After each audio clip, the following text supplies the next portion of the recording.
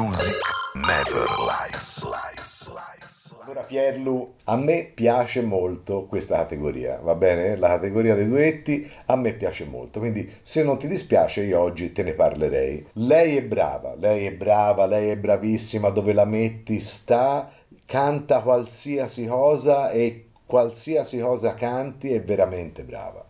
Lady Gaga, questa donna è nata per cantare, c'è niente da fare, come Ilona Stalle, era una, era nata. Ognuno c'ha il suo. Lady Gaga fa un album insieme a Tony Bennett. Tony Bennett, non so, chi lo conosce, ma noi diciamo un po' old school ovviamente lo conosciamo molto bene perché ha fatto tra le canzoni più belle, classici, diciamo così, americani, e, italo-americano tra l'altro, come Frank Sinatra, eccetera, eccetera, tra le canzoni più belle veramente del panorama classico americano. Tony Bennett, bella voce, anche lui, sempre tutto un po' matato, cioè un omone vecchia scuola, proprio un bel, un bel, tipo. E fanno questo album insieme e nella prima settimana vendono tipo 130.000 copie, una roba di questo genere. Allora, questa canzone è veramente bella, è un duetto impossibile che diventa possibilissimo, diventa possibilissimo e tra l'altro veramente bello, cioè proprio senti l'eleganza, la classe, cioè proprio non c'è niente da fare. Oh, non c'è niente da fare, non c'è niente da fare. Allora, anything goes. Anything goes.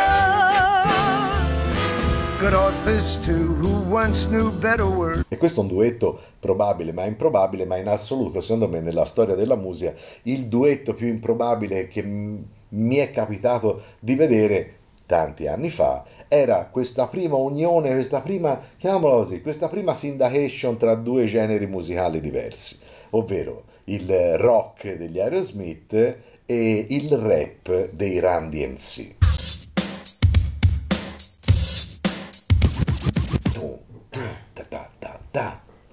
Tu,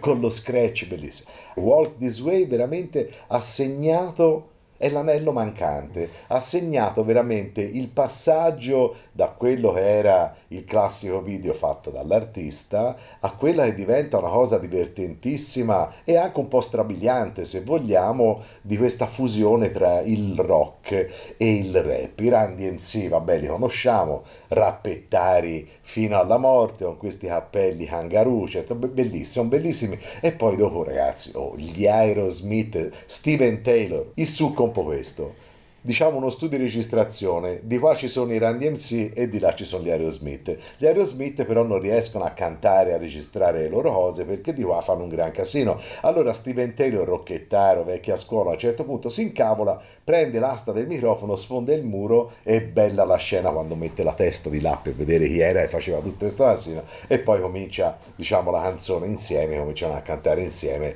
e veramente questo è un pezzo spaccato di brutto.